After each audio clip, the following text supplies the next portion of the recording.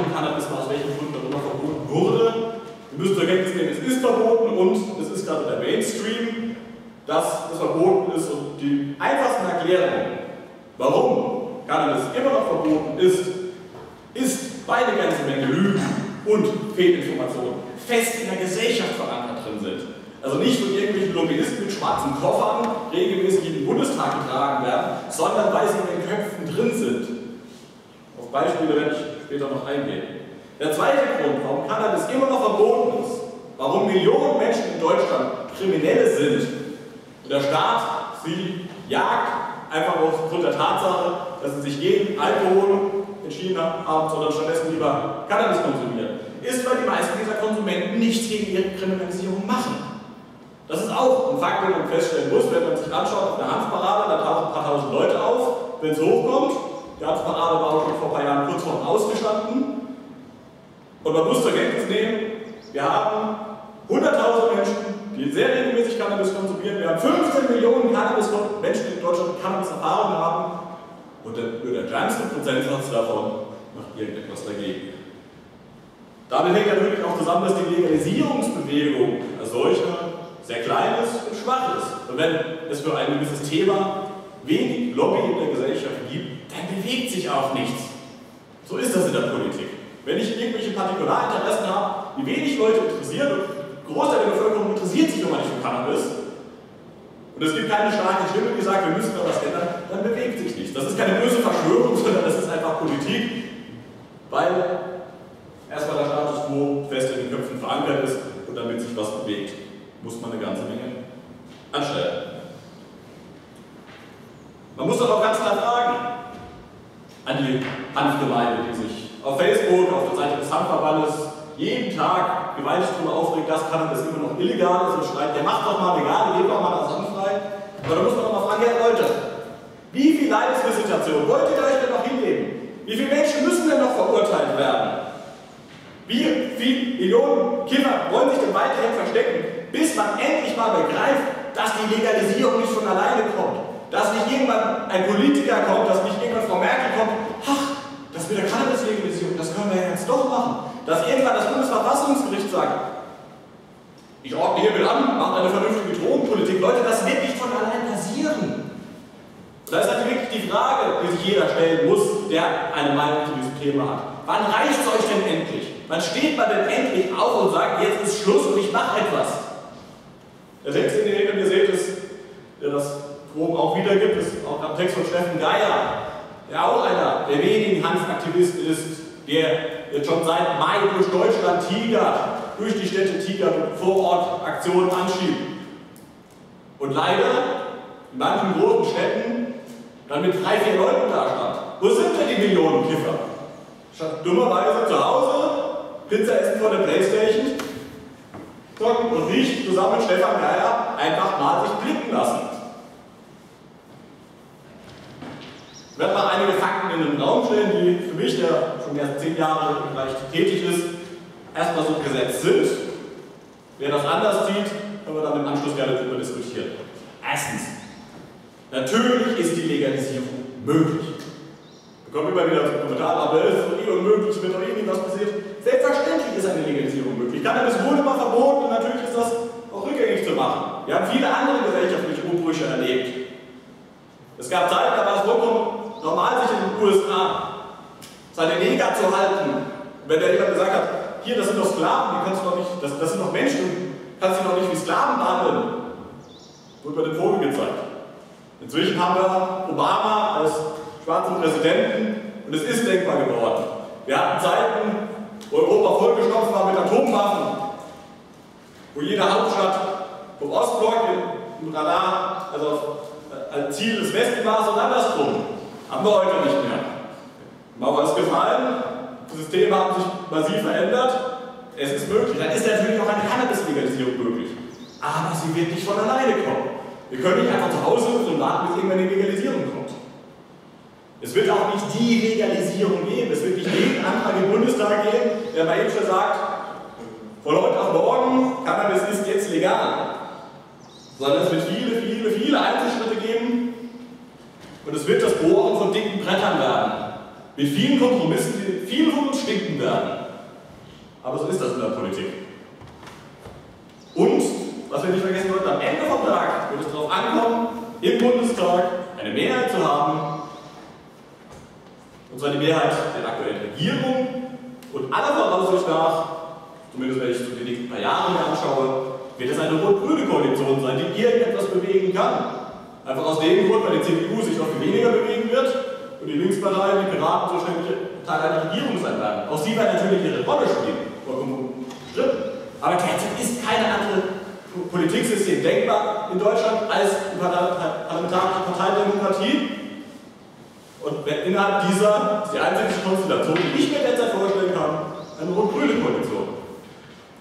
Selbst wenn man gesamte Debatte um die Grünen ausblendet, ist allein die Tatsache, dass wir die SPD überzeugen müssen. Ich werde später mal ein bisschen was von der SPD erzählen, was die so für Thesen in den Raum stellt. Ist allein die Tatsache, dass wir die SPD noch zu überzeugen haben, schon ziemlich traurig und ätzend und es stinkt mir, aber das ist die Realität, mit der wir umgehen müssen und das ist die Realität, in der wir Politik machen. Auch ist es richtig, jeder kann seinen Beitrag leisten. Es wird niemand verfolgt, weil er sich für eine Legalisierung einsetzt. Wer sich versteckt und glaubt, wenn ich dann irgendwo eine Petition unterzeichne, dann nicht im Polizeicomputer, dann hat zwar die Cannabis-Prohibition insofern ihre Wirkung gezeigt, als dass sie die Leute paranoid gemacht hat, aufgrund des Verbotes. Mit der Realität hat das aber wenig zu tun. Wer auf eine Handdemo geht und nichts in der Tasche hat, hat nichts zu befürchten. Und wer einen Leserbrief schreibt oder ein Bundestagsabgeordneter einen Brief schreibt, ohne dann eine Tatbestand der Beleidigung zu erfüllen, hat auch nichts zu befürchten. Es ist natürlich bequemer, zu Hause auf dem Sofa sitzen zu bleiben. Aber heutzutage kann jeder seine Meinung kundtun, er kann ein paar Flyer am Nachbarn in den Briefkasten stecken und Politik wird nicht mal eben schnell klick-klack von wenigen Leuten entschieden, sondern Politik ist das Ergebnis eines großen Prozesses da muss jeder mitwirken. Und, darum wird es heute nicht gehen, darum ging es beim ersten Vortrag, progressive Drogenpolitik ist auch mehr als nur kiffen zu dürfen. Das ist ja auch eine etwas eingeschränkte Sichtweise. Aber dazu hatte ich in meinem ersten Vortrag schon eine Menge gesagt. Wenn man sich anschaut, wie Politik funktioniert, muss man das sehr pragmatisch sehen. Da geht es weniger um irgendwelche Ideale, da geht es um, wie zum Beispiel der Serie Stark, eine Staatsarbeit, was Gerichtsprozess angeht, auf den Punkt gebracht hat. Ich übertrage das mal auf die Politik. Im politischen Geschäft herrscht Krieg. Und wer verliert, wer sich dumm anstellt, wird kalt gestellt, aber sind Sache politisch tot. Der zweite Punkt ist, und das ist eine Sache, die, als ich mich auf diesen Vortrag hier vorbereitet habe, immer weiter rauskristallisiert hat, die Wahrheit ist relativ. Suchen Sie sich eine raus, wir müssen eine raussuchen, wir müssen Realität gestalten. Der Grund, warum die SPD, warum CDU oder warum Otto Mustermann von nebenan gegen eine Cannabis-Legalisierung ist, ist, weil es in seiner Realität nun mal Sinn ergibt.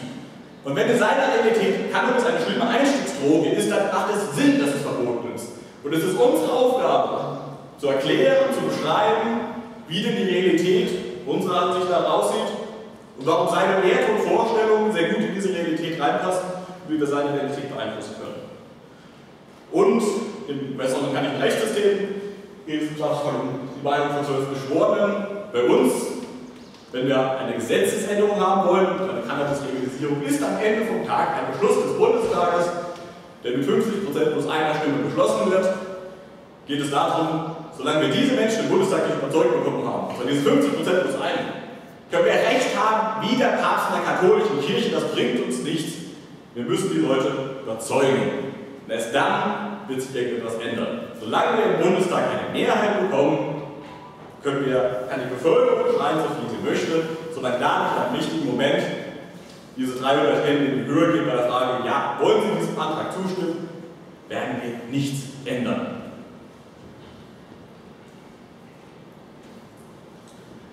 Was auch klar sein sollte, also wenn man sich die Frage stellt, warum ist denn Cannabis nicht legal, muss man sich auch überlegen, wenn ich etwas verändern möchte, wenn ich irgendwo mitspielen möchte, Politik mitgestalten möchte und das effektiv machen möchte. Ich meine, der Grund, warum Cannabis noch nicht legal ist, liegt auch daran, nicht nur, weil wir recht schwach sind, weil wir zu wenige sind, sondern weil wir es vielleicht auch falsch gemacht haben bisher.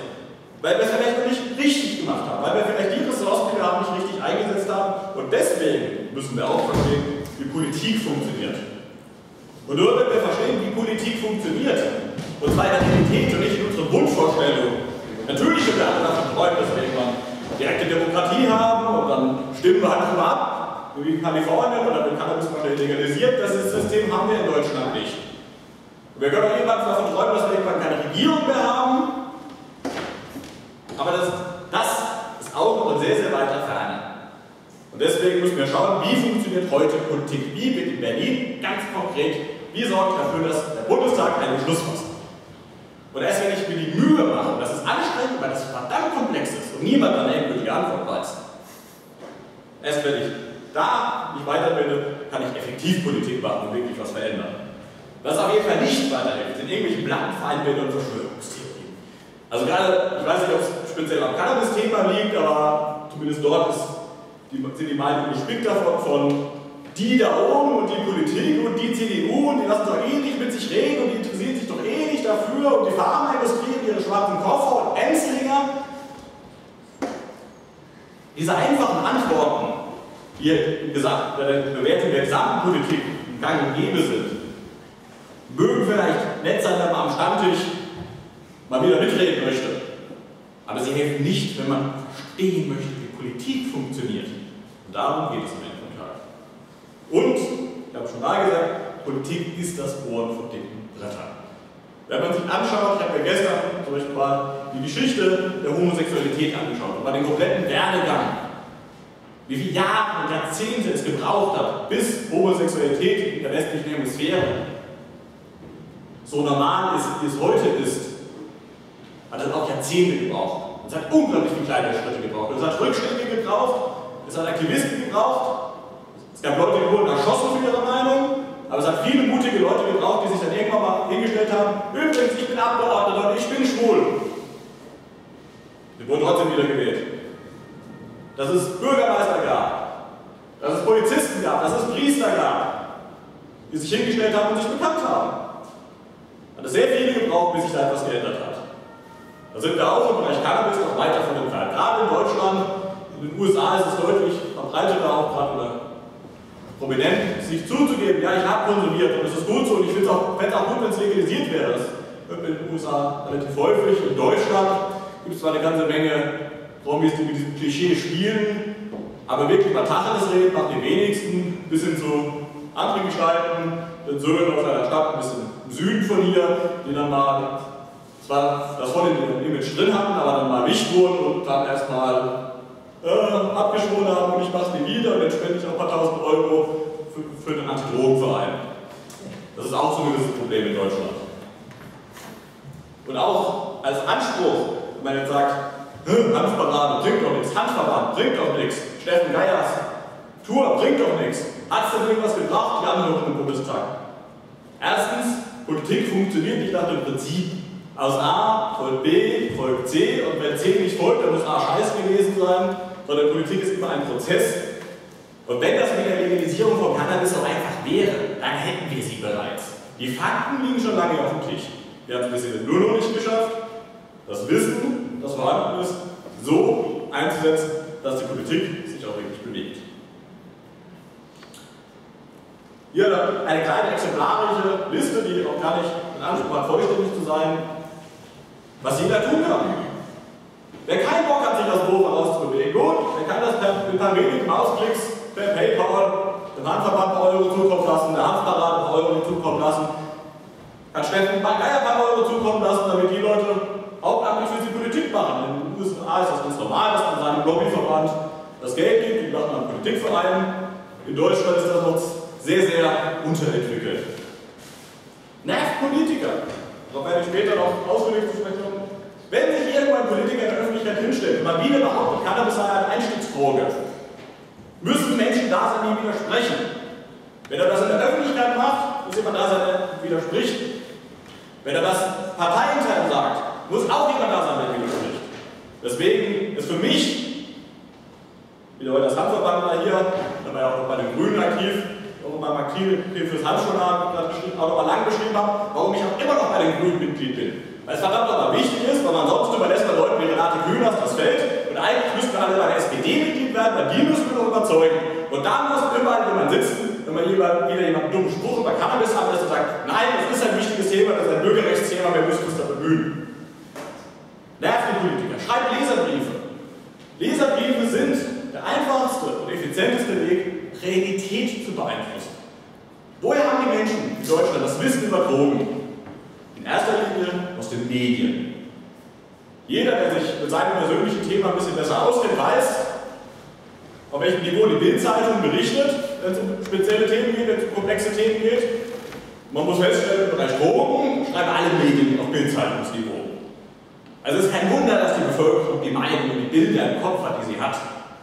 Aber wir können auch in die Medien, die Medien sind nicht politikgesteuert. Wir produzieren auch nur das, was da ist und drucken ab, was sie geliefert bekommen. Und solange aus der Amtsstöne, solange von Menschen, die sagen, Cannabis soll legal sein, keine Wortmeldungen kommen, werden sie auch nicht davon, viel davon drucken. Deswegen schreibt Leserbriefe. Ganz einfacher Weg, vollkommen gefahrlos. Sache von wenigen Minuten. Vorlage zum Internet. Schreibt einen Leserbrief. Damit beeinflusst ihr Realität. Damit bekommen die Menschen mit. Oh mein Gott, es gibt da auch noch eine andere Meinung. Da sollte ich mir mal Gedanken drüber machen. Kleiner Beitrag, aber sehr effizienter. Als Handverband weiß ich ja, wie schwer es ist, in die Medien zu kommen. Da muss man Glück haben, dass Frau Merkel bei ihrer Aktion getrieben hat, wo wir uns anschließen konnten. Dass es die Anhörung im Bundestag gab. Da haben die Medien darauf reagiert. Ansonsten war es bisher immer das Einfachste, sich einen Leserbrief zu schreiben, weil damit schafft man es auch ganz schnell in viele große Zeiträume.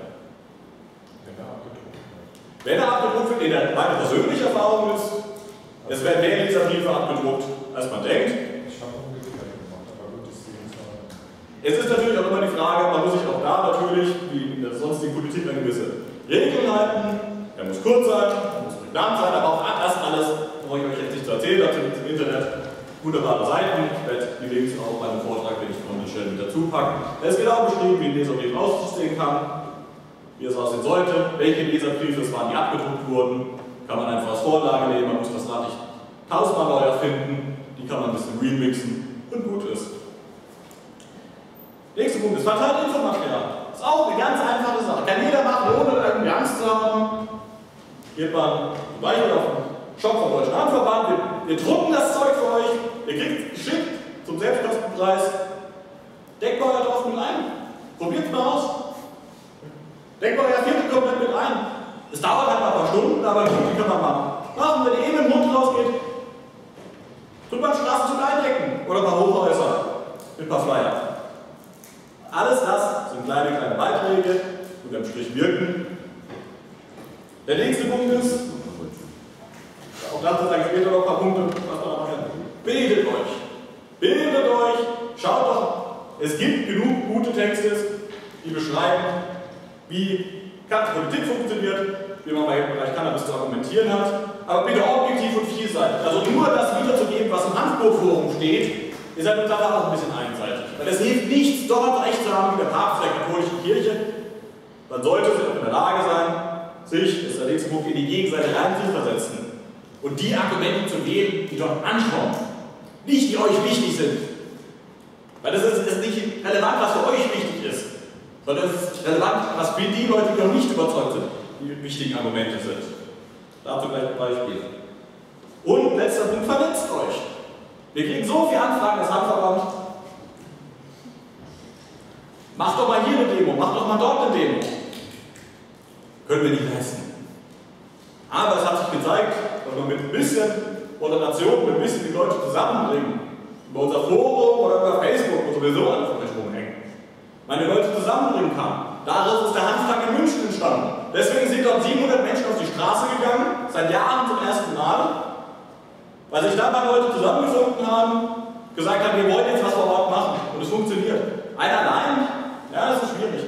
Aber wenn man eine Handvoll hat und noch eine Handvoll, und was mein persönlicher Rat ist, da auch einfach Piraten mit dazu nehmen, die Linkspartei dazu nehmen, die Grünen, die Grüne Jugend, weil das sind auch die Leute, die haben über eine Demo-Anmeldung, das sind auch die Leute über die Polizei.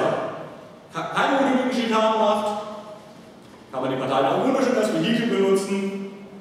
Nehmen Sie dazu, macht eine Demo vor Ort, am, am Hanftag, irgendwann im Jahr, macht was, vernetzt euch, dann könnt ihr auch was erreichen. Und wenn wir zum Global Marihuana March Anfang Mai nächstes Jahr nicht nur drei Städten, sondern vielleicht zehn Städten in Aktion haben und im Jahr drauf 50 Städten, dann ist da doch irgendwann die kritische Masse erreicht, dass die Medien mitbekommen, nicht nur da ist eine Aktion und da ist eine Aktion, sondern das ist ein Aktionstag, wo sich Menschen deutschlandweit tausend auf die Straße gehen für Cannabis. Da könnt ihr auch einen Beitrag leisten. Zur Cannabis-Diskussion, und das wäre jetzt wieder ein ganz konkretes Ergebnis aus der Anhörung, die es Anfang des Jahres gab, habe ich mal einige Fakten zusammengesammelt, die ich essentiell empfinde für die Debatte, die mir auch in, der, in den Debatten die letzten paar Monate sehr weitergeholfen haben, weil es einfach gewisse Punkte ein bisschen klarstellt. Der erste Punkt ist, und das ist weit verbreitet, in der Anszene zu sagen, Cannabis ist vollkommen harmlos, überhaupt gar kein Problem und wer, wer was anderes behauptet, der, der muss ja von der Pharmaindustrie. Ein Bullshit. Natürlich ist Cannabis eine Droge, die auch Risiken birgt. Und wir haben auch in Deutschland ein Problem mit Leuten, die sehr, sehr jung exzessiv konsumieren. Natürlich gibt es auch Leute, das ist Cannabis nicht die einzige Ursache, aber spielt, spielt auch eine Rolle mit. Wenn junge Leute zu viel kiffen, wenn 13-, 14-Jährige sich jeden Tag morgens die Bon reinziehen, das ist nicht gesund. Das sollte man von vornherein klar machen, das ist nicht der Punkt. Das, ist, das sollte jedem von uns klar sein. Aber darum geht es nicht bei einer Legalisierung. Alle Vorschläge, die hier im Raum rumstehen, von den liberalsten Personen bis zu welchen vorsichtigsten Personen, sei es link oder grün oder Anfang, es gibt keinen Vorschlag, der sagt, wir wollen jetzt Cannabis an 13-Jährigen verticken. Das fordert kein Mensch. Das muss man klar machen. Das haben wir auch bei unserem Vorschlag an Frau Merkel nochmal ganz klar gemacht. Cannabis-Legalisierung bedeutet, dass wir einen Markt für Erwachsene schaffen wollen. Dass wir erwachsenen Menschen die Möglichkeit bieten wollen, eine Alternative zu ihrem Bier zu haben, ohne sich strafbar zu machen. Und, da sind wir wieder bei der Sache, die andere Leute reinversetzen, da kann man dann ein Elternargument sagen, Leute, erst wenn wir diesen regulierten Markt haben, sind Kinder geschützt, weil die dann sagen können, Es geht um Erwachsene. Es geht um Erwachsene für die. Und das sollte auch Ebenso klar wie das Cannabis-Gefahren birgt, dass für Erwachsene die Strafverfolgung und die negativen Auswirkungen des Schwarzmarkts das Hauptrisiko ist. Und dafür, für diese Menschen haben wir eine Lösung. Überhaupt nicht die Lösung zu haben für 13-jährige Jugendliche, Kinder, die zu viel kiffen. Nein, es geht, es geht um diese Personengruppe, die wir ein Angebot machen wollen, sich aus der Illegalität zu holen. Es geht auch generell eigentlich nicht um die Frage, wie gefährlich ist Cannabis. Das war der Fehler, den kurz vor der Anhörung im Bundestag, das war eigentlich auf Antrag der Linken, die Cannabis Social Clubs haben wollten. Und auf, aufgrund dieses Antrags gab es eine Anhörung und dann hat die SPD die, der Veranstaltung den Titel gegeben, wie gefährlich ist Cannabis?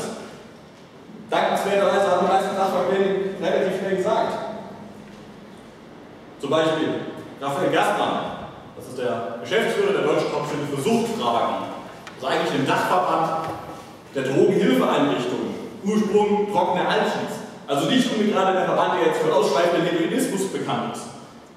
Selbst er, also jemand, der eigentlich nur Leute vertritt, die mit den Leuten zu tun haben, die Probleme mit Drogen haben, ganz klar gesagt, es ist nicht relevant, wie gefährlich Cannabis genau ist, sondern wir reden über gerade die Cannabis-Legalisierung, über eine Marktregulierung. Und dann ist die entscheidende Frage, bringt dieses Verbot irgendjemand etwas, der ein Problem hat oder der kein Problem hat? Hat er ganz klar gesagt, das bringt niemandem etwas.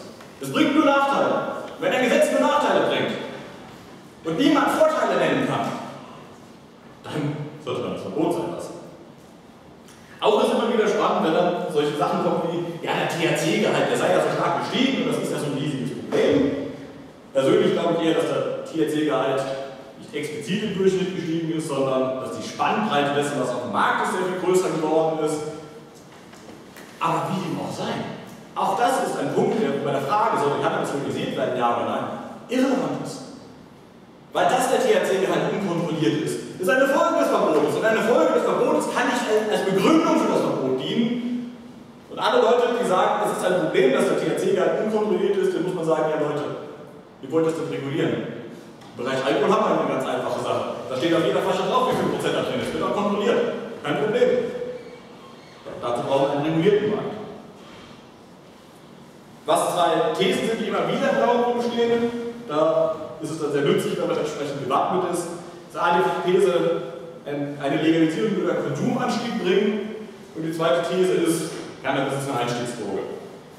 Gerade zum zweiten Punkt habe ich in meinem ersten Vortrag schon sehr umfangreich ausgelassen, weswegen ich das jetzt hier nicht wiederholen werde. Aber auch dazu gibt es inzwischen schöne Ansammlungen, wo man nicht sagen kann, ja, der Angstverband schreibt, sondern gibt da wunderschöne Dokumente des Bundeskriminalamtes, des Bundesverfassungsgerichtes, die Deutsche Hauptstelle für Suchtfragen und selbst Drugcom, ein Projekt der Bundeszentrale für gesundheitliche Aufklärung, sagt, Cannabis ist keine Anstiegsdroge.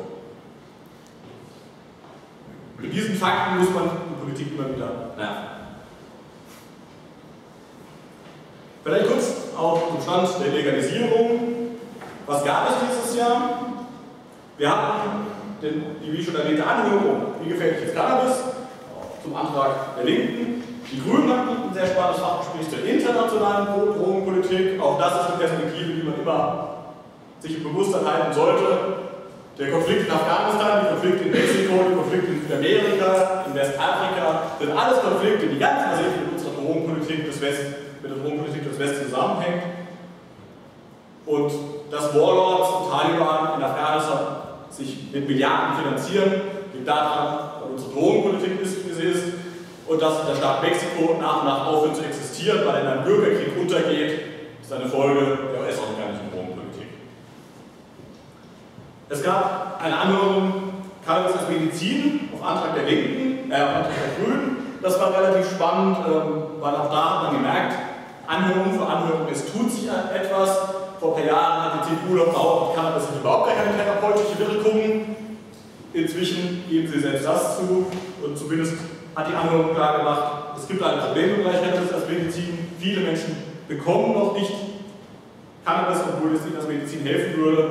Persönlich fand ich auch sehr beeindruckend, wenn da dort ein Arzt steht, der Kinder mit Cannabis behandelt, weil sie gewisse seltene Krankheiten haben wenn da Vertreter der Pharmaindustrie da sitzen, die sagen, jetzt laufen Studien, Cannabis bei psychischen Erkrankungen einzusetzen und andere Vertreter listen mal diese riesige Palette an Indikationen auf, wo Cannabis helfen kann. Das haben wir jetzt alles aufgenommen, das gibt es in der Mediathek des Bundestages abzurufen. Und es kann keiner mehr behaupten, er hätte es nicht gewusst. Auch bei der CDU trinkt es langsam durch. Selbst die Bundesdrogenbeauftragte war ausnahmsweise mal an, anwesend. Zumindest in dem Punkt, glaube ich, ist es ein ganz klein wenig, dass sie da vielleicht einen Funz an Fitzelaktivität zeigen könnte. Was auch sehr gut war, war das Fachgespräch der Linken zur Drogenpolitik. Die haben, wurde auch komplett aufgezeichnet. Gibt es auch auf der Homepage der Linken, komplett abzurufen, mit vielen wirklich sehr, sehr, sehr, sehr guten Beiträgen von Schillower, von Vertretern des Schillower Kreises, von vielen Kriminalisten, von Soziologen, die ganz klar gemacht haben, wo die Probleme liegen. Hört den Leuten zu, sie haben wirklich viele spannende Sachen zu sagen. Was dann aktuell in der Debatte ist, was ich auch natürlich sehr spannend finde, ähm, ein Antrag der Grünen. Die Grünen haben darüber diskutiert, was man denn für einen Antrag stellen könnte. Ob er jetzt einen Drogenfachgeschäftsantrag stellt oder die Legalisierung aller Drogen fordert. Nein, sie haben sich überlegt, naja, wir machen einen anderen Antrag, wir stapeln mal ein bisschen tiefer. Und nachdem die SPD zwar gesagt hat, eine Legalisierung ist mit uns nicht zu machen, aber eine Entkriminalisierung, das können wir uns vielleicht irgendwie vorstellen, haben die Grünen gesagt, gut, dann schreiben wir doch einen Entkriminalisierungsantrag. Dann schreiben wir einen ganz simplen Antrag, einen ganz harmlosen, wo wir einfach an konsumbezogene Delikte, wie der Besitz, eine geringe Menge, ist von der Strafbarkeit auszunehmen. Also nicht, wie heute, eine geringe Menge Verfahren kann eingestellt werden, sondern nein, wir schreiben ins Gesetz rein, bis zu der Menge X ist der Besitz von Cannabis keine Straftat mehr. Das ist legal. Einfach um einen Ballon zu starten und zu schauen, wie reagiert denn jetzt die SPD in der Hoffnung, dass man sie irgendwann packen kann und sie zumindest an der Stelle mal Farbe bekennt, damit, wenn es irgendwann mal wieder eine rot-grüne Regierung gibt, man die SPD irgendwo mal packen kann, wobei sie auch 96 solche Anträge selbst gestellt hat und dann zwei Jahre später nichts mehr davon wissen wollte. Aber zumindest ist das taktisch gesehen eine sehr spannende Sache. Der zweite Teil dieses Antrags ist es auch, mal eine Kommission einzuberufen, wie man ganz objektiv die Drogenpolitik bewerten soll und evaluieren soll, weil in der Fachwelt ist eben vollkommen klar, dass die Drogenpolitik, wie wir sie heute haben, vollkommen gescheitert ist. Und gegen so eine Kommission wird auch die Bundesregierung ein Problem haben, zu argumentieren, weil wenn sie so überzeugt von ihrer eigenen Politik wäre, dann sollte sie eigentlich auch kein Problem damit haben, sich das mal fachlich bewerten zu lassen.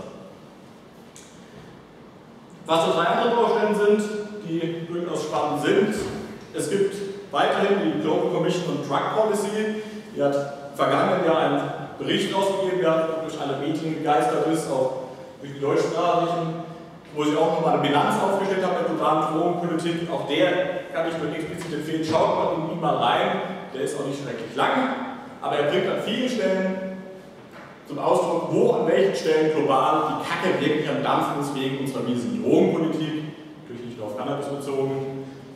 Ist ja lesenswert.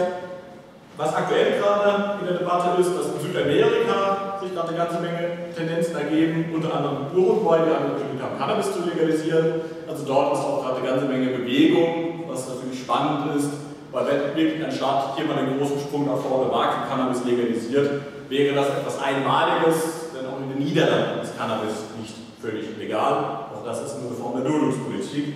Uruguay dachte eher an ein Staatsmonopol, so wie es die Skandinavier haben bezüglich Alkohol. Und eine Sache, die auch immer wieder betont werden sollte, ist Portugal. Portugal hat vor mehr als zehn Jahren sehr konsequent Drogenkonsumenten entkriminalisiert. Dort geht die Devise, wer Drogen konsumiert und ein Problem hat, der braucht Hilfe, aber keine Polizei. Und wer Drogen konsumiert und kein Problem hat, braucht auch keine Polizei.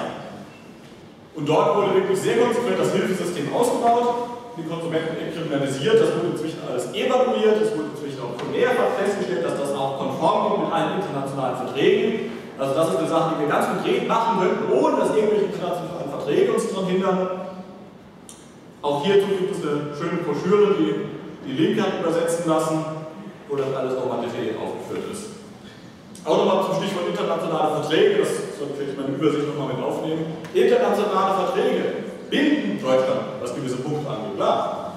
Die ersten Schritte aber, was diese konsequente Kriminalisierung angeht, was Coffeeshops angeht, was Cannabis Social Clubs angeht, die es zu Hunderten in Spanien gibt, das könnten wir alles machen, denn diese Staaten haben es gemacht und sind immer an Verträge unterschrieben. Also auch das ist ein Pseudo-Argument, das vorgeschoben wird. Und wenn wir das dann alles haben, also wenn wir Cannabis als Medizin für alle haben und die Konsumenten kriminalisiert haben und Cannabis Social Clubs in jeder Ecke haben, wollen dann den letzten Schritt gehen, dann wird das mit den internationalen Verträgen wirklich problematisch. Aber dann können wir uns auch darum kümmern. Also wir haben mehr als genug Freiräume, die wir nutzen können. Kommen wir zurück zur Frage, wie funktioniert denn das mit der Politik? Also eine Sache ist auch klar. Wir brauchen, oder wir sollten haben, also keine zwingende Bedingung, aber sicherlich sehr hilfreich, wir brauchen eine Mehrheit für das Thema der Bevölkerung, wir brauchen eine Mehrheit in der öffentlichen Meinung Kommen wir erstmal zur Bevölkerung. Da sind erstmal viele Zahlen. Ich lese es aber nur vor. Also das ist eine Umfrage, die ein Institut von sich aus gemacht hat, also die jetzt nicht für den explizit in Auftrag gegeben wurde. Und am Ende vom Tag geht es um die Frage, wie stehen Sie zu einer Legalisierung Cannabis? Und das Ergebnis ist, dass 40% der Bevölkerung sagen, ja, finde ich gut oder finde ich eher gut. 60% sagen, nein. Deswegen erstmal der Punkt, wenn Leute schreien, die Politik macht doch, was sie will, unabhängig davon, was die Bevölkerung will, im Bereich Cannabis haben wir keine Mehrheit für die Legalisierung. Wir haben sie derzeit nicht. Wir haben genug Prozent, um zu sagen, das ist ein ernsthaftes Anliegen. Es wurden auch schon andere Sachen beschlossen, die sinnvoll sind, wo nur 40% der Bevölkerung dahinter standen. Aber für eine explizite Legalisierung gibt es derzeit keine Mehrheit. Wenn man sich die Sache etwas detaillierter anschaut, gibt es eine zweite Umfrage, die hat der Deutsche Handverband in Auftrag gegeben, bei MNIT, also einem ganz normalen Institut. Auch hier ist die Erkenntnis, wir haben ja differenziert abgefragt, wir haben gesagt, naja, soll alles bleiben, wie es ist. Entkriminalisierung, Legalisierung und dann kommt man zu den Ergebnissen, dass 40% der Bevölkerung dafür ist, dass es so bleibt, wie es ist. 20% sind für eine echte Legalisierung und für eine Entkriminalisierung oder Legalisierung sind immerhin 60%. Also für eine Entkriminalisierung, also für eine prinzipielle Liberalisierung der Cannabispolitik gibt es eine Mehrheit. Das Spannende daran ist auch, das ist ja also aufgegliedert in Ost und West, Männlein, Weiblein, Alter, Bildung, auch noch nach Parteienpräferenz. Es gibt da keine besonderen Unterschiede zwischen den einzelnen Gruppen. Also die größten Schwankungen sind, dass, dass die 30- bis 39-Jährigen am ehesten noch reformwillig sind. Ansonsten schwanken die Zahlen alle in einem sehr, sehr engen Spektrum, was auch spannend ist. Also selbst bei den CDU-Land gibt es keine Mehrheit für die Politik von heute. Es gibt sie nicht in Bayern, es gibt sie nicht in Baden-Württemberg. Es gibt sie nicht bei Alten, nicht bei Jungen, nicht bei, nicht bei Osten, nicht bei Westen, nicht bei Männern oder Weiblein. Also das ist ein Thema, wo die Gesellschaft sich relativ einig ist. Fand ich persönlich überraschend, weil ich eher davon ausgegangen wäre, dass junge Menschen da prinzipiell liberaler denken.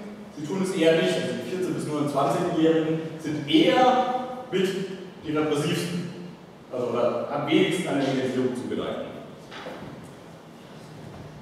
Wenn ich diese Erkenntnisse zwinge und wenn ich davon ausgehe, dass in der Gesellschaft sich am ehesten was bewegt, wenn die Bevölkerung mehrheitlich dahinter steht, dann war ich ein Blick in die USA. Hier, die USA, da Legalisierungsbefürworter haben die den Vorteil, dass die Frage nach der Einstellung zur Legalisierung sehr regelmäßig abgefragt wird also das ist eine Grafik von 69 bis 2014 geht. Und man kann zumindest eins klar sagen, das ist aber in der Vergangenheit viel auf und ab. Es gab hier den absoluten Tiefpunkt, 89, und ab dort ging es bergauf. Es ging bergauf um 1 bis 1,5 Prozent pro Jahr, 2 Prozent pro Jahr, roundabout. Und deswegen kann ich die Prognose wagen, wenn bei der Frage Legalisierung ja oder nein nur 40% Ja sagen, braucht es mindestens noch 5 bis 10 Jahre, bis dort die 50%-Marke geknackt wird. Wenn ich diese differenzierte Fragestellung mache, wo noch die Entkriminalisierung dabei ist, merke ich, dass wir 20% heute für die Legalisierung sind.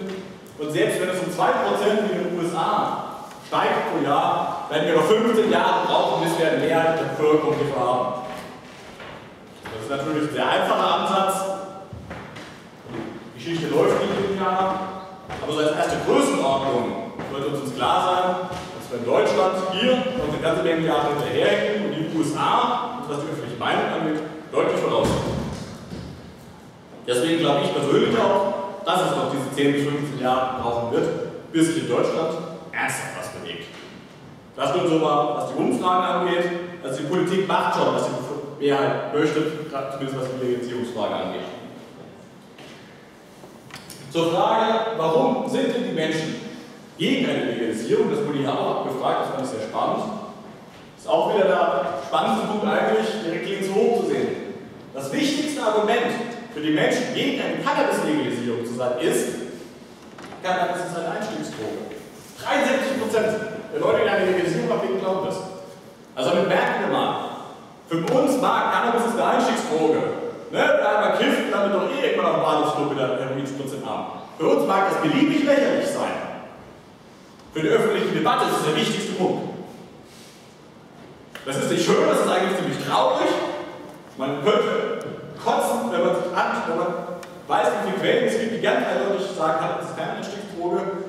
Aber das ist das Niveau, da müssen wir die Menschen abholen. Weil nur wenn wir diese Menschen überzeugt haben, werden wir etwas verändern können. Deswegen allgemein mal der Punkt, weniger gute Argumente für die Cannabis-Legalisierung. Wenn Menschen glauben, Cannabis ist eine Einstiegsdroge, und ich komme damit, damit einem Argument wie, ich kann mit der Cannabissteuer den Haushalt sanieren, oder Cannabis ist ein toller Rohstoff,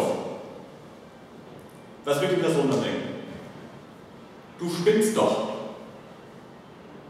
Nichts anderes wird diese Person denken. Wenn jemand überzeugt ist, dass Cannabis körperlich abhängig macht, dass es geistig abhängig macht und eine Einstiegsdroge ist, und die Person Angst um die Kinder hat, dann ist mit dem Argument zu kommen, dass man aus Hamsterkäume Seile machen kann, vollkommen gacker.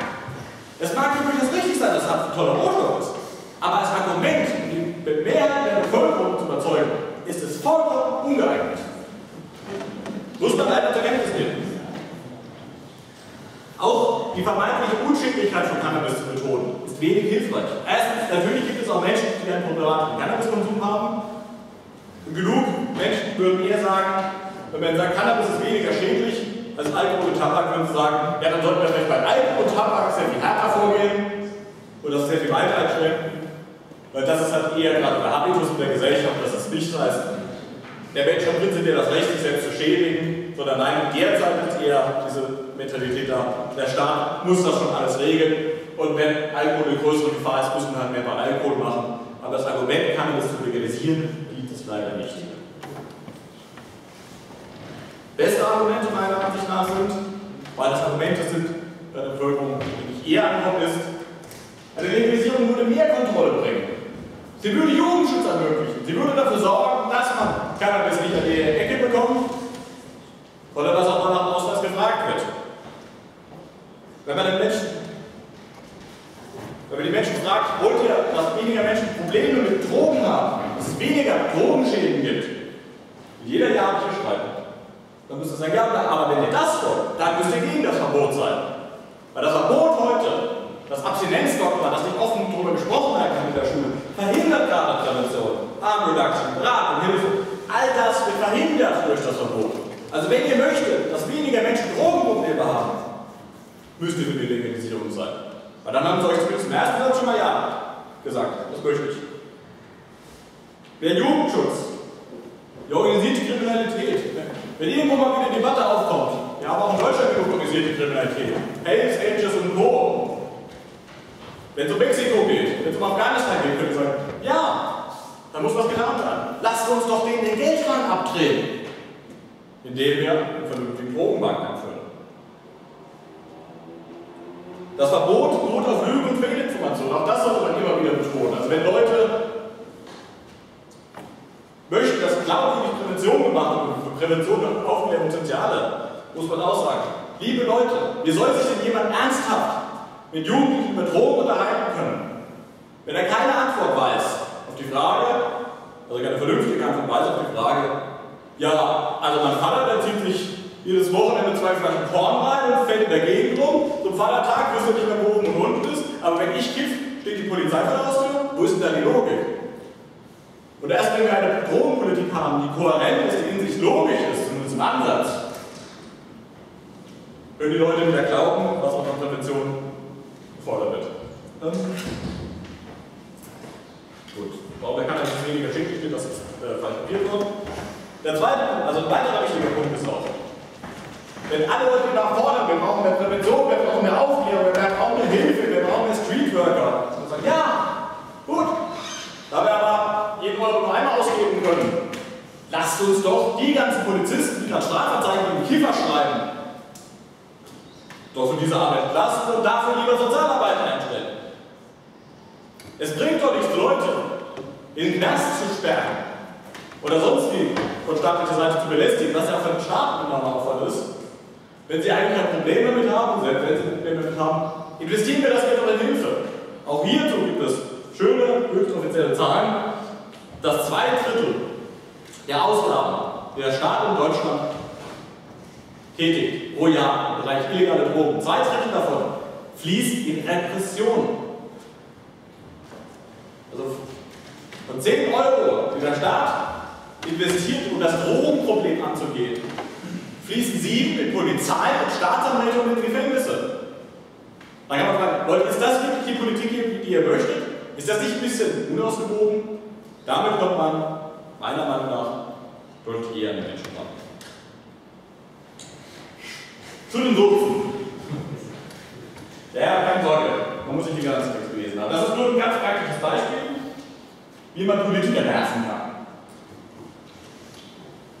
Da muss man dann ein bisschen ins Klein-Klein gehen und sich zum Beispiel mal schauen, nachdem die Grünen diesen Antrag eingereicht haben zur Cannabis-Entkriminalisierung oder auch der linke Antrag zu den Cannabis-Social Clubs, gab es natürlich Reden dazu im Bundestag. Und sind selten total gespannt. Persönlich blieb mir doch meistens immer der Puls hoch, wenn ich die Scheiße lesen muss.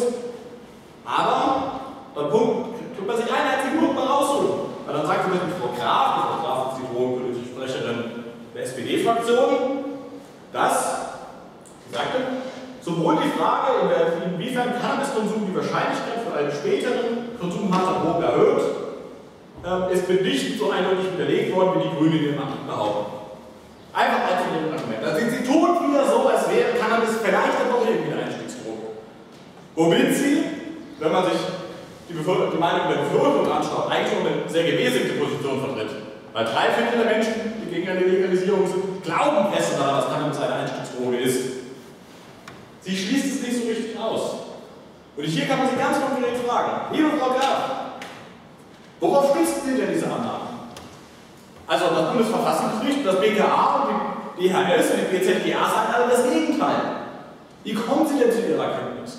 Und das muss ein bisschen noch das Ziel in der Debatte sein. Jeder Politiker, der so ein Bullshit von sich gibt, wie kann man das eine Einstiegsdroge, sollte gefragt werden, zwar an vielen Stellen, das ist das ganz konkret im Abgeordnetenwatch gegangen, ein großartiges Werkzeug, das wir inzwischen haben. Ich bin gespannt, was sie antwortet. Weil sie wird ein Problem bekommen. Und das ist ein allgemeiner Punkt. Wenn wir wissen, dass die Gegner einer Legalisierung sich ihre ganzes Argumentarium, also ohne echte Quellen, aufgrund von Mutmaßungen, aufgrund von widerlegten Theorien aufbauen, dann können wir sie hier angreifen. Ebenso sollte ein Mist in der Zeitung stehen. Er ist ein Leserbrief Hagel, wo genau diese wunderschönen, objektivsten Quellen genannt werden und die Politik gefragt wird, liebe Leute, wie kann es sein, dass ihr das auch immer behauptet, rechtfertigt euch. Diese Möglichkeiten haben wir inzwischen. Dank Abgeordnetenwatch, dank Facebook, oder indem man einfach mal einen Brief schreibt. Das nochmal, das wollte ich eigentlich noch nach vorne ziehen. Das ist auch eine Autobildungsarbeit. Das ist einfach der Gang der Dinge, wie in Deutschland ein Gesetz entsteht. Und das sollte sich dann jeder, der für die Legalisierung ist, klar machen. Wir wollen am Ende vom Tag eine Gesetzesänderung. Da werden wir ganz oben anfangen müssen dass im Idealfall eine Bundesregierung einen Antrag einbringen wird, dass eine Drogenbeauftragte, das Teil der Regierung, einen Antrag einbringt. Dann werden wir im Bundestag dafür sorgen müssen. Oder gehen wir noch einen Schritt zurück. Noch weiter oben ist, wenn man sich den gesamten Pfad anschaut, was wir alles brauchen werden. Wir werden erstmal mindestens eine Partei brauchen, die die Legalisierung im Wahlprogramm stehen hat. Haben wir, haben mehr. Gehen wir mal davon aus, dass die Grünen das auch im nächsten Programm drinstehen haben und ernst meinen.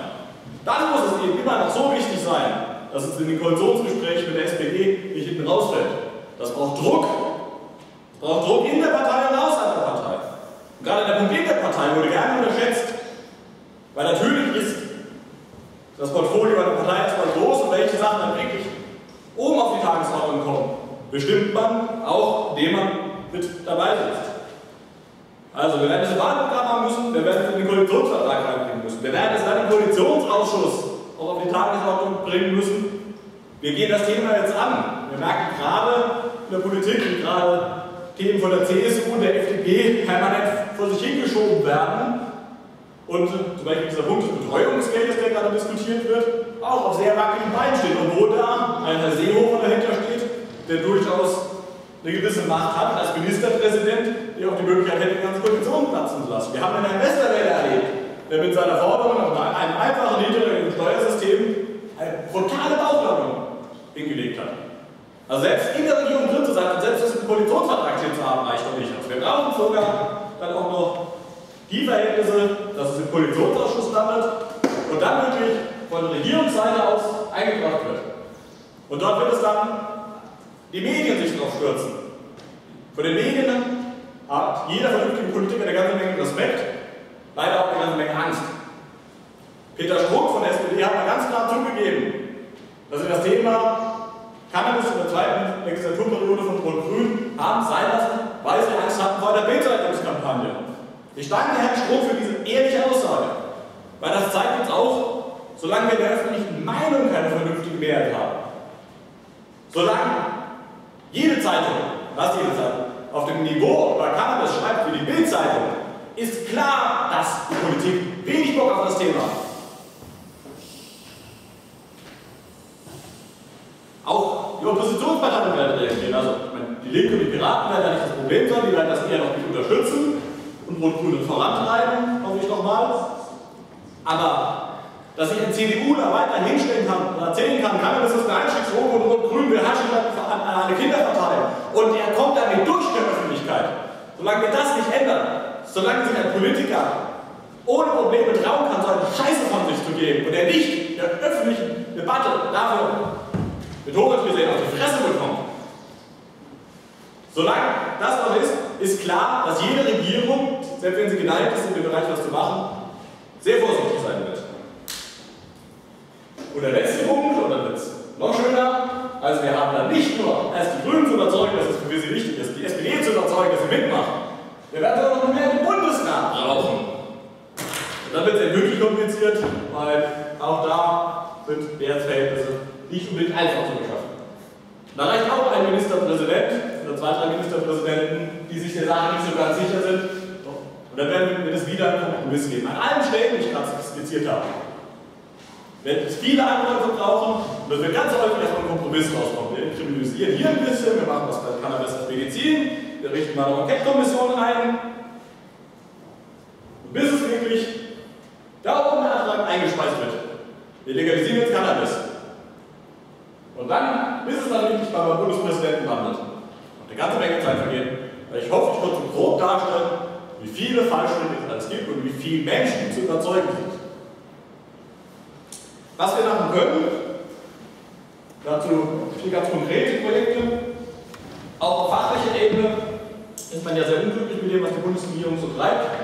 Und gerade der Drogensuchtbericht der Drogenbeauftragten ist inzwischen zu einem Selbstbeweihräucherungsdokument der Drogenbeauftragten geworden, die sich als Omi inszeniert, die es ganz toll findet, dass es da Leute gibt, die sich um die armen, armen Süchtigen kümmert. Das Wort Repression taucht im Drogen- und Suchtbericht nur ein einziges Mal auf, und das geht sogar Auslandsversuche in den USA. Und ansonsten mit der öffentlichen Debatte, mit dem, was die Regierung darstellt, was ihre Drogenpolitik ist, der gesamte Bereich der Repression, die hunderttausenden Strafverfahren komplett ausgeblendet. Deswegen, und in vielen anderen Bereichen, wird es notwendig sein, hier mal einen alternativen Drogen- und Suchtbericht vorzulegen, der ein Gesamtbild aufzeichnet von der Wirkung der Drogenpolitik, wie wir es in Deutschland haben. Mein persönliches Ziel ist es, dass wir jedem Kandidaten zur Bundestagswahl nächstes Jahr den großen Parteien des Piraten Wahlprüfsteine vorlegen und jeden Einzelnen fragen werden, findest du es fair, dass Konsumenten von Cannabis kriminalisiert werden? Findest du es gut, dass sie sich auf den Schwarzmarkt eindecken müssen? Findest du es, wäre es nicht besser, wenn es legalisiert würde? Eine Antwort fragen. Und die möchte ich jedem Kandidaten, jedem einzelnen Wahlkreiskandidaten, möchte ich diese Fragen stellen, das Ganze online stellen dann bin ich mal gespannt, weil das könnte eine einfache Methode sein, um mal ein bisschen Druck zu zeigen. Insbesondere, wenn das nicht der Handverband 1500 E-Mails, 1800 E-Mails verschickt, und dann werden wir eine Briefvorlage machen, die dann jeder einzelne von euch nehmen kann, seine Daten anträgt und sagen kann, übrigens, ich bin ein Bürger aus deinem Wahlkreis und ich möchte deine persönliche Meinung und nicht das, was dir aus Berlin vorgegeben ist, wissen. Findest du es fair, dass Konsumenten von Cannabis kriminalisiert werden und in der Strafverfolgung bedroht sind? Findest du das fair? Ich möchte eine Antwort von dir haben. Da kommt es auch dann ganz explizit dass hier wirklich in jedem Wahlkreis in Deutschland diese Briefe rausgehen, die Antworten gesammelt werden. Und dann bin ich mal gespannt, was sich dann für Meinungsbilder gibt. Ich betone nochmal die Leserbriefe. Wenn jedes Mal, wenn in der Zeitung etwas mit Drogen steht, ist das Anlass für einen Leserbrief. Sei es, dass irgendwo eine Plantage hochgenommen wurde, wo man fragen muss, ach mal Leute, macht es denn Sinn, Leute hochzunehmen, die ihr reines Cannabis abbauen, Leute, die dann auf dem Schwarzmarkt haben? Wenn mal wieder Drogen gefunden werden, dann sagt ihr, schön, dass die Polizei die Pakete präsentiert hat. Im gleichen Moment ist das 20-fach von dem, was sie auf dem Tisch liegen hat, über den Markt gegangen. Vollkommener Bullshit, was da rein. Wieder haben Polizisten sich in einer Schule hingestellt und erzählt, wie gefährlich dann Drogen sind. Glaubt ihr denn jeder Jugendlicher glaubt das noch? Das sind diese ganz einfachen Fragen, wo man täglich über die Zeitung auf viele andere findet und Leserbriefe schreiben. Und in der Masse werden sie auch bewirken. Zuletzt noch die Hanftage. Ich habe beschrieben, in München gab es dieses Jahr erstmalig seit Jahren wieder einen Hanftag. Es gibt dieses Jahr in Köln einen Hanftag. Es gab dieses Jahr erstmalig in Hannover einen Hanftag. Es gab seit vielen Jahren in Frankfurt und Berlin die Hanftage. Wann ist Darmstadt dran? Es gibt so viele Städte, wo so viele Handaktivisten rumsitzen, die eigentlich sich was wünschen würden, dass was passiert. Sorgt doch dafür, dass zumindest einmal wieder eine Zeitung aufgeklappt wird und dann ein Demozug zu sehen ist. In Hannover, großen DHV-Banner, Schluss mit Krimi, Cannabis normal, 200 Menschen demonstrieren für das Recht, Cannabis zu konsumieren und gegen die Kriminalisierung. Darmstadt 94, Cannabis-Weekend, Antrag hier. Ja, da war mal Bundesrepublik. Ja. Aber das Problem ist, wir werden es halt nicht nur brauchen an wenigen Stellen, sondern eigentlich sollte in jeder großen Stadt es möglich sein, so eine Demo zu organisieren. Das hat alles hier gefragt. Zum Thema Bildung. Wer sich einfach mal objektiv informieren möchte, wer sich wirklich den Anspruch hat, im Bereich aktiv zu werden, dem empfehle ich vier Bücher. Nur vier. Klingt erstmal viel, aber sie sind eigentlich alle sehr gut zu lesen. Das erste ist, drüben, nach dem Krieg gegen die Drogen, Modelle für einen regulierten Umgang. Darin wird genau das beschrieben, was für viele Menschen undenkbar ist. Da wird einfach die Frage diskutiert, wie könnte man mit Drogen umgehen? Sei es mit Tabak, sei es mit Alkohol, sei es mit Cannabis, sei es mit Heroin. Welche Möglichkeiten gibt es, welche bewährten Instrumente gibt es und wie könnte sowas aussehen? Da wird beschrieben, da wird die Realität beschrieben, wie es zum Beispiel aussehen könnte, mit Cannabis umzugehen. Das ist für jeden Ökonom, das ist für jeden, der von der Legalisierung überzeugt ist, eigentlich kein Thema mehr. Aber für alle Leute, die sich nicht vorstellen können, davon gibt es verdammt viele, wird da sehr schön drin beschrieben, oder auch für euch, wenn ihr es wiedergeben möchtet, sehr schön sauber durchdekliniert, wie sowas aussehen kann. Gibt es auch kostenlos als PDF-Datei. Das zweite Buch, Entkriminalisierung von Drogenkonsumenten und Legalisierung von Drogen, auch ganz neu erschienen. Eigentlich das neue Standardwerk zum Thema, weil dort drin eigentlich jeder, der Deutschland was zum Thema Legalisierung zu sagen hat und auch darüber hinaus aus seiner Perspektive beschrieben hat, wie es aussehen könnte. Da ist die Deutsche AIDS-Hilfe drin, da ist der Bundesverband der akzeptierenden Eltern drin, da ist der Deutsche Handverband drin. Da sind Beiträge drin. Wie sieht es in Tschechien aus? Welche Effekte hatte die Kriminalisierung in Portugal? Wie sieht es wirklich in den Niederlanden aus? Alles sehr schön drin beschrieben. Und zwei etwas ältere Bücher, aber immer noch hochaktuell. Das eine ist ähm, Rauschzeichen, Cannabis, alles, was man wissen muss. Unter anderem von Steffen Geier, Aktivisten und meinem Chef Georg Roth geschrieben. Wo auch ansprechend für Lehrer geeignet, für Eltern kompatibel beschrieben wird, die grundlegenden Fakten über Cannabis, was man halt so wissen muss. Und für alle, die es auch einen Strich seriöser haben wollen, das ist persönlich mich so die Bibel. In der deutschen Hauptstelle für Suchtfragen, Raphael Gassmann, Cannabis neue Beiträge zu einer alten Diskussion, wo auf einem höchst fundierten Niveau unterschiedlichste Aspekte im Bereich Cannabis beleuchtet werden und alle relevanten Fragen durchdiskutiert werden. Nochmal ganz klar Beispiel gesagt steigt der Konsum, legalisiere, große Beiträge, nein, es gibt keinen Beleg dafür. Wo diskutiert wird, Cannabis eine Einstiegsdroge. Bullshit! Das wird von der Gegenseite zwar immer wieder hochgezogen, aber die Fachwelt ist sich einig, das ist das nicht. Oder auch sehr, also das ist ein bisschen anspruchsvoller, auch an genug Stellen nochmal durchdiskutiert wird, zum Beispiel die Frage Cannabisabhängigkeit. Wie sieht es damit aus? Und man sich dann die Statistiken anschauen kann und dann Erkenntnisse rauskommen wie, ja natürlich gibt es mehr Beratungsbedarf, aber von den Leuten, die eine Beratung wegen Cannabis in Anspruch nehmen, ist ein Drittel dabei, der da nur sitzt, weil die Polizei oder die Gerichte ihn hingeschickt haben, also das Problem die Strafverfolgung war, oder ein anderes Drittel, das dort sitzt,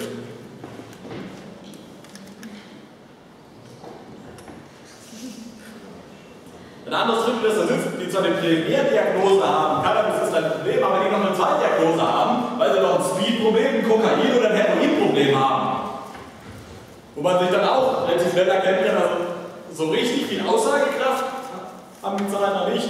Oder wo beschrieben wird, dass selbst Leute, die formal eine Diagnose bekommen haben, als sie cannabisabhängig sind, okay, haben sie bekommen. Aber wenn man dann fragt, geht es den Leuten denn schlecht damit? Wie sieht es denn aus? Ihr irgendwelche Einschränkungen dadurch? Und wenn man dann feststellt, natürlich kann man die, Definition von Abhängigkeit, wie wir sie auch von Alkohol und Heroin haben, kann man natürlich auch auf Cannabis anwenden. Aber die Erkenntnis ist, dass die Leute kein Problem damit haben, dass sie hoch funktionstüchtig sind und dass sie keine, keine Schulabbrecher werden. Und dass der Begriff der Abhängigkeit im Bereich Cannabis genauso anzuwenden wie im Bereich Alkohol höchst fragwürdig ist. Also auch dieses Buch sehr empfehlenswert. Zuletzt noch die Frage, wohin müssen wir denn, in welcher Größenordnung müsste sich denn mehr bewegen?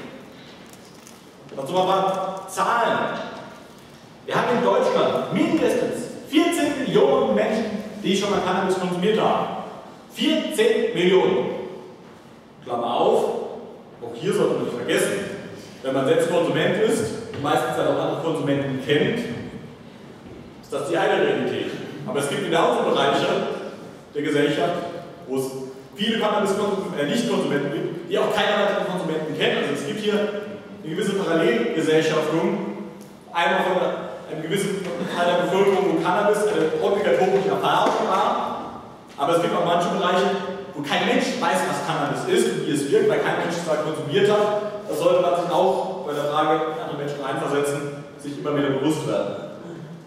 Also wir haben 14 Millionen Menschen, die vom Staat zu Verbrechern erklärt wurden, weil sie Cannabis konsumiert haben. Auf der anderen Seite hatten wir letztes Jahr auf der Hanfparade 2700 Teilnehmer. Man merkt, es ist ausbaufähig. Wir hatten im letzten Jahr an Strafanzeigen bei konsumbezogenen Delikten, also allgemeinen Delikten, also nicht irgendwie, ich habe irgendwie ein Kilo über die Grenze gebracht, sondern konsumbezogene Delikte, hatte ich im letzten Jahr über 100.000 Strafanzeigen. Das 100.000 Menschen, die Ärger mit dem Gesetz bekommen haben. Final, Probleme mit dem Führerschein bekommen haben, oder wenn das Verfahren eingestellt wurde, es Auflagen gab, Geldstrafen, Kurse etc. Also Menschen, die Ärger bekommen haben, die Auffahrt hatten wegen dem Verbot. Trotzdem gibt es nicht mal 500 Leute, die sich bemühen und sagen, okay, der Staat jagt mich, aber für jeden scheiß Euro, den ich über Strafen bezahlt habe, denke ich den Handverwaltung und Privatsponsor.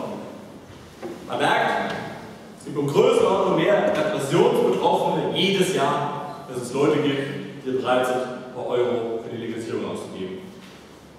Warum der Deutsche Handverband ja nicht noch nicht ganz so viel rockt, zeigen vielleicht auch der Vergleich, also wenn man sich mal den Deutschen Naturschutzbund anschaut, also noch eher den kleineren der ganzen Verbunde vergleicht, es gibt der BND, es gibt auch Greenpeace, andere Organisationen. Dann hat selbst der Naturschutzbund Deutschland hat ein Budget von erst 20 Millionen.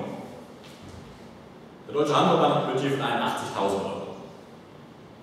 Da merkt man mal, also welche Liga die deutsche Legalisierungsbewegung noch spielt. Selbst wenn man noch die Handparade dazu nimmt, das, was Steffen Geier treibt, dazu nimmt, kommt man damit vielleicht auf 200.000 oder 300.000 Euro, die jedes Jahr in Legalisierungsarbeit gesteckt wird. Das sind Peanuts, das muss man ganz klar sagen. In den USA ist man dann schon ein bisschen weiter, also das ist so das, wovon wir immer träumen die Drug Policy Alliance, was auch dort nur eine von mehreren Organisationen ist, also das sozusagen der Dachverband für alle Drogen zuständig ist. Es gibt dort keine spezialisierte Organisation, es gibt dort Straf, äh, Menschen, die in der Strafverfolgung arbeiten und für die Legalisierung sind. Es gibt dort BAMS für Marihuana, es gibt Normen, noch viele weitere. So. Dort hat der größte Verband hat sieben Büros, 42 Angestellte und ein Budget von mehr als 7 Millionen pro Jahr. Man merkt, dass auch wenn die USA ein bisschen größer sind, aber so viel auch nicht, die Repression vielleicht ein bisschen heftiger ist, zwischen 81.000 Euro und Millionen, das ist doch ein bisschen ausbaufähig. Weil wir auch das Einzige, wo wir relativ stark sind in Deutschland, ist was Facebook angeht, also die Facebook-Fans haben fast so viel wie die Drug Policy Alliance. Aber das zahlt dann auch noch keine Rechnung. Also man merkt, es gibt genug Leute, die Probleme haben, genug Leute, die eigentlich ein Interesse haben, Cannabis zu legalisieren. Immerhin 40% der Bevölkerung sind für eine Legalisierung, aber es lassen sich weder die Leute blicken, noch sind sie bereit, sich zu informieren, zu mobilisieren oder zu finanzieren. Und solange die Zahlen diesen krassen Feld weiter bestehen, brauche ich keine Pharmalobbyisten, brauche ich keine Verschwörungstheorien und keine Ängstlinger, um zu verstehen, warum sich die Drogenpolitik derzeit in Deutschland wenig bewegt. Hier nochmal, können dann, wenn wir die Video dann nochmal Ruhe abtippen.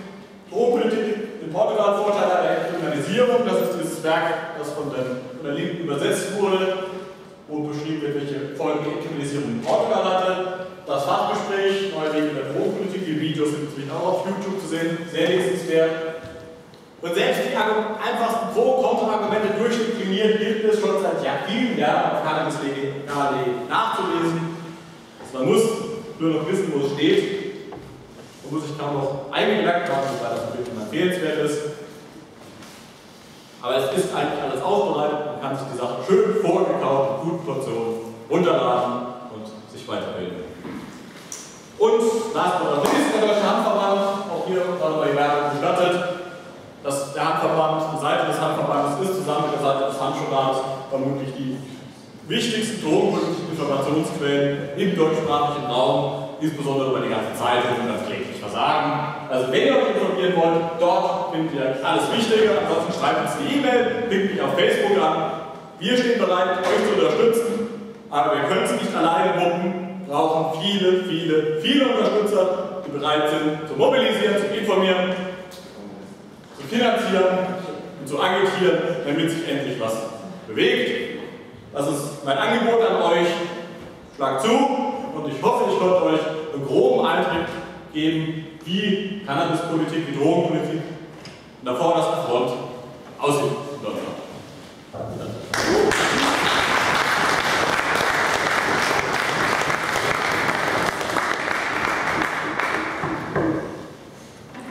Also ich würde jetzt erstmal zu Fragen kommen. Und wenn Fragen abgearbeitet sind, Großteil, können wir dann die Kamera ausschalten und zur Diskussion kommen.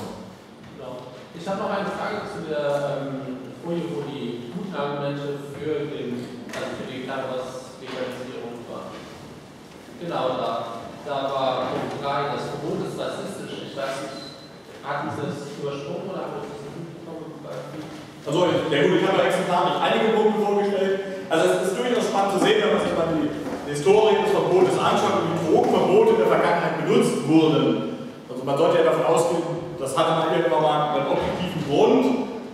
Gibt eine ganze Menge Verschwörungstheorien. Eine Sache, die man sehr klar nachweisen kann, ist, dass das Verbot, so wie es in der Vergangenheit entstanden ist, primär aus rassistischen Argumenten entstanden ist, dass die gesamte Drogenpolitik massiv von Rassismus geprägt ist. Das fängt an, dass die ersten Konsumverbote gegen, gegen Rauchopium in San Francisco, dass man die gelbe Gefahr da bekämpfen wollte, weil nachdem die Chinesen die Eisenbahn gebaut haben, waren sie dann überflüssig. Ging weiter darüber, dass das Marihuana dargestellt wurde, dass das ist, was der Neger, der Jazzmusiker und dann anfängt, weiße Frauen zu vergewaltigen. Also eine richtig üble Scheiße. Bis hin zu Deutschland, bis vor wenigen Jahren Hamburg, Rechtsmitteleinsatz gegen mutmaßliche Drogendealer. Es war jedem, der das Gesetz verabschiedet war, vollkommen klar, dass 95% der Betroffenen dieses Brechmitteleinsatzes, also die Polizei schnappt jemanden, vermutet, er hat Drogen runtergeschluckt, abgepackte, er wird dann auf die Wache gebracht und bekommt dann Brechmittel eingeflößt, dass die Drogen als Beweis zum Vorschein kommen. Es war vollkommen klar, dass dieses Gesetz 95% der Betroffenen Schwarzafrikaner sein werden. Wenn 95% der Betroffenen weiße Mittelschicht-Kids gewesen wären, hätte man das Gesetz nicht verabschiedet. Auch dazu ähm, mögen und Google anwerfen, da gibt es auch einen schönen Beitrag noch von mir, wo man wirklich an vielen Stellen klar machen kann, was für üble Propaganda damit betrieben wurde, unter anderem Rassismus, auch mit ersten, die Cannabis bei den internationalen Verträgen eingebracht haben, aus Südafrika, damals aus dem Apartheid-Regime, Also die weißen Briten sich überlegt haben, naja, die Neger, die rauchen ein komisches Kraut, das wollen wir nicht, wir verbieten das jetzt. Also mit solchen Sachen wurden, das ist halt deutlich auch leichter nachzuweisen als unterschiedlichste Verschwörungstheorien, kann man schön zeigen, auf was für unglaublich grauen Scheiße das ganze Verbot gewachsen ist und auch heute noch weiterhin mit betrieben wird. Also da muss man sich nur in andere Länder anschauen, was das Rechtspopulisten von sich gibt. Da merkt man auch ganz klar diese politische Instrumentalisierung des Themas. Ja, was in Niederlanden.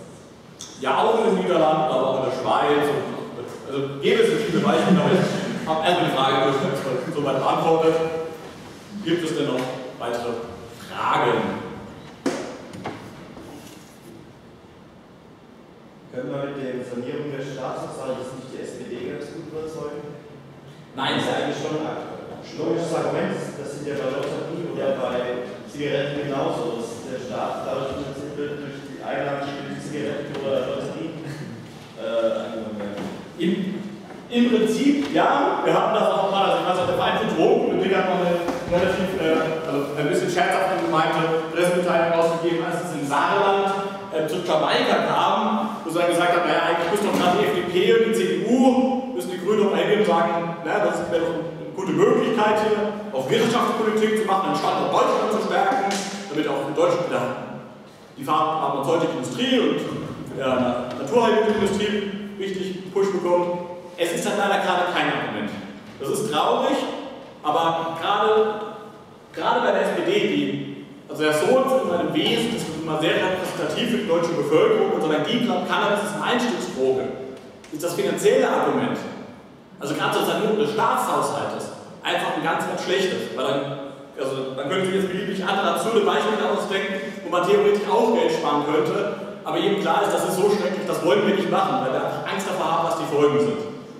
Da würde ich eher halt auf das Argument gehen, man könnte das Geld sinnvoller einsetzen, indem man mehr Geld für Prävention ausgibt, anstatt für Polizei und da so ein bisschen auf die Sozialpädagogenader drückt. Das wäre deutlich eher machbar. Damit könnte man die Leute deutlich eher erreichen.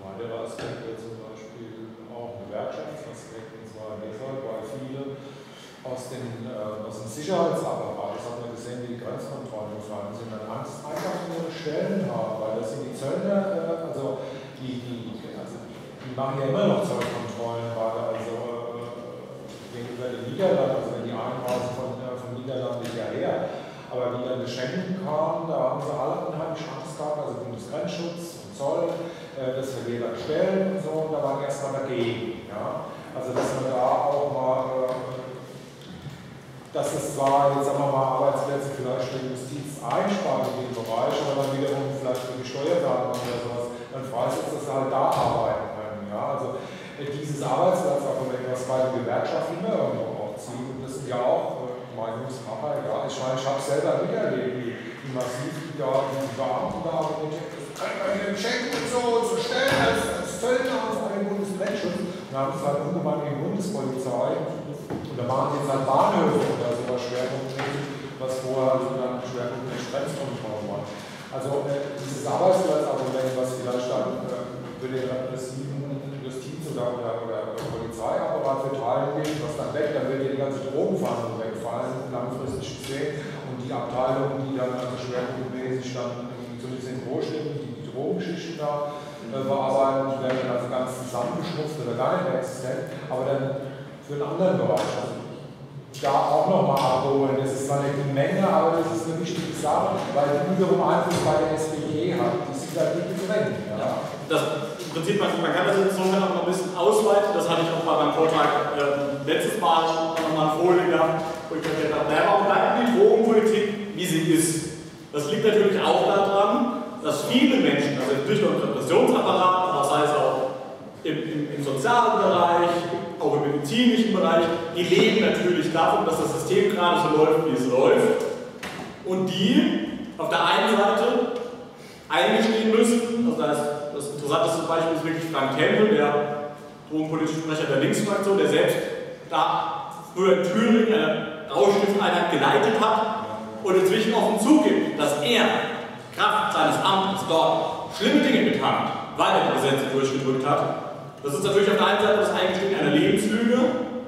Da müssen sich auch sicherlich viele andere Leute an die Nase greifen, aber man kann die Sache auch positiv umformulieren und sagen, liebe Polizei, Ihr habt doch den Anspruch, Rechtsgüter zu schützen. Ihr möchtet doch Menschen schützen, ihr möchtet ihnen helfen. Und wäre es nicht besser, wenn ihr gegen Schwerstkriminalität, gegen organisierte Kriminalität, liebe Staatsanwaltschaften, ihr habt die Aktenberge von der Wirtschaftskriminalität, die nicht bearbeiten könnt. Wäre es nicht sinnvoll, dann würde es nicht mehr Menschen helfen, würdet, ihr euren Job nicht besser machen können, wenn ihr gelegentlich mal jemanden, der Giftmüll verklappt hat, hinter Gitter bringt, anstatt Strafzeichen gegen Kiffer zu schreiben. Also man muss, das ist insofern das ganz richtig, der ganz richtige Punkt, man muss die Leute da abholen, wo sie sind. Und die Leute, die in gewissen Berufen drinstecken, die mit Drogen zu tun haben, muss man sagen, wir sind jetzt nochmal darauf zurück, was er eigentlich mal wollte, und was er mal wollte als Polizist ist,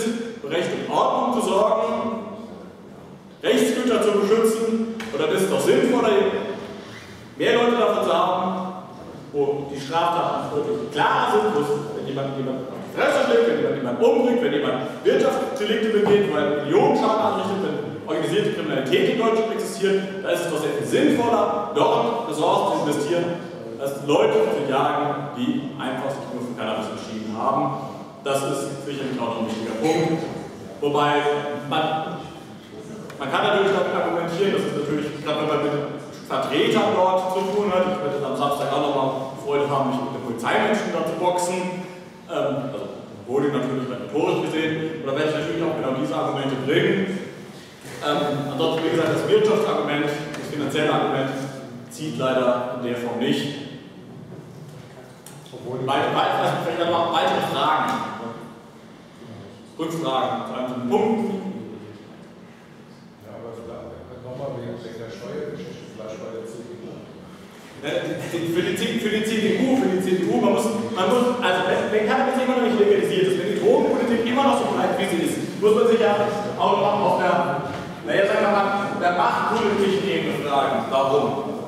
Oder sollte man nicht vergessen, dass Drogen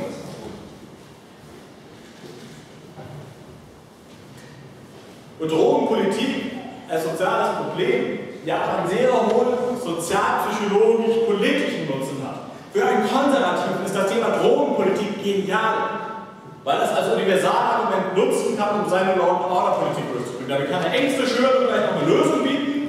Der Vorteil ist, der Gegner ist so groß und immer vorhanden, dass man ihn noch nie besiegen wird, aber man kann immer mehr Ressourcen rein investieren. Und was nach dem 11. September wurde das Argument angeführt, wir müssen doch gegen Al-Qaida irgendwo vorgehen, das war vor dem 11. September organisierte internationale Rauschgiftkriminalität. Du bist gegen den großen Nahbeschangriff, dann willst du doch in Wirklichkeit einfach den, den bösen Haschisch-Dealer verteidigen, der auf Schulhöfen in Kindern LSD-Spritzen verteilt.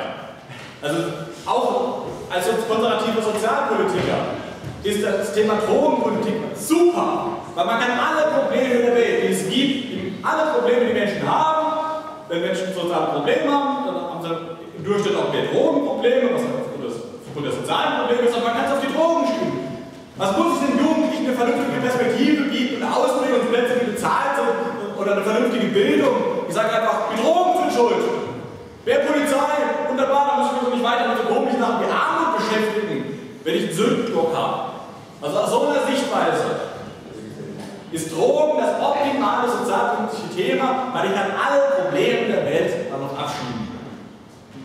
Deswegen ist es ein unglaublich auch für die öffentliche Meinung. Unglaublich komplexe Sache und das muss man halt auch in Ruhe durchschauen und analysieren, mit welchen Argumenten hier Drogengesetze beschlossen werden, Drogenmaßnahmen ergriffen werden und jeder und wer profitiert alles davon? Und sind nicht alle glücklich, die Medien greifen ein Drogenproblem auf, die Politik verspricht, ganz viel dagegen zu machen und noch eine Polizei einzusetzen. Und der Bürger ist ja super, die Politik kümmert sich. Und das Ganze auf möglichst platten, dumpfen, unterkomplexen Niveau und alle sind glücklich. Zumindest was die staatliche Ebene angeht.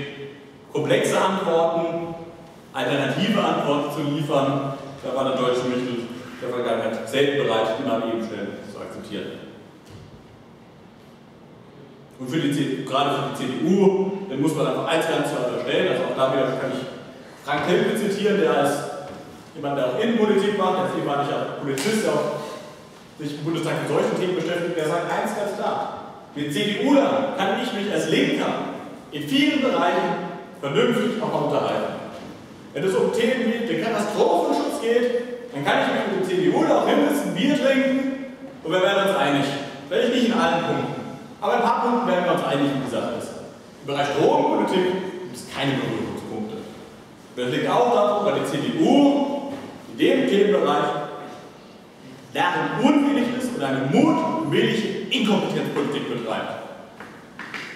Weil das Thema für sie einfach unglaublich nützlich ist und in ihrer Realität und in ihrem Weltbild, auch wieder auf den Punkt am Anfang in ihrer Realität ist es einfach undenkbar, dass Leute vernünftig mit Cannabis umgehen.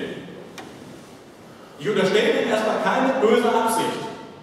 Ich unterstelle ihnen einfach nur, dass in ihrer Realität eine, Parallelrealität zu der unseren, wo es wenig Anknüpfpunkte gibt und in ihrer Realität macht das alles Sinn. Und erst wenn wir schaffen, sie konsequent zu piesacken, sich darauf hinzuweisen, übrigens, das ist nicht richtig, belegen wir bitte das und schau mal, der hat auch gekifft und der kommt damit klar und guck mal, die Studie sagt auch nicht, dass es massive Probleme gibt. Und erst wenn ich dann ihre Realität durchlösche, wenn ich die Magie mache, wenn ich diese Kuppe, die sie aufgebaut haben, verwirrt bekomme, Erst dann werden die Leute umdenken. Und so lange stecken sie da drin. Nicht, weil sie regelmäßig im schwarzen Koffer mit Geld von der Pharmaindustrie bekommen, sondern weil es in ihrer Realität verdammt nochmal die Sinn ergibt.